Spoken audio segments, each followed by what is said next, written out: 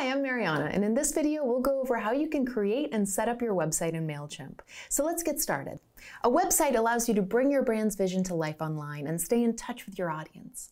When you're ready to create your website, MailChimp will help you style and design your web pages so you can bring your business online. To create a website, we'll click the website icon. In the Websites tab, we'll add the name of our website and click Next.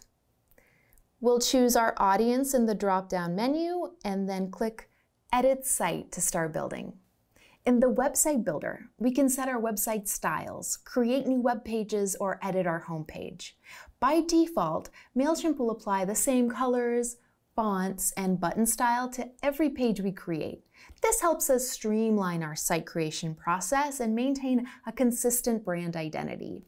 And to define the color, font, and button styles for our website, we'll navigate to the Manage Site menu and click Styles. In the palette dropdown, we can choose a pre-designed color scheme, or if we have our own brand colors we want to use, we'll click Create to design our own palette. Let's name our palette and click the plus icon to pull up the color swatch. Here we can add our six-digit hex color code, our RGB values, or use the color picker. To get the exact colors for our brand, let's use the hex color code. After we select colors for all five swatches, we'll click Save Palette.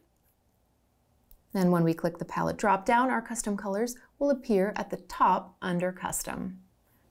MailChimp will automatically assign our selected colors to different sections of the website, such as the background section and the navigation text. And to change the color assignments, we'll click Edit to access the default color scheme.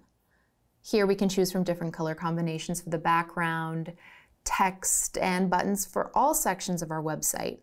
And I think the color scheme with this color background, and this color font, and this color button looks really good.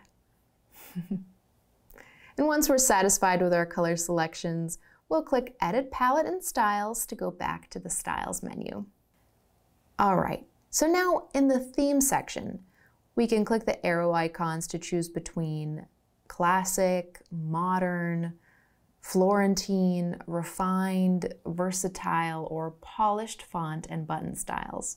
And we'll see the heading paragraph, fonts and button styles change in the website preview as we make our selections.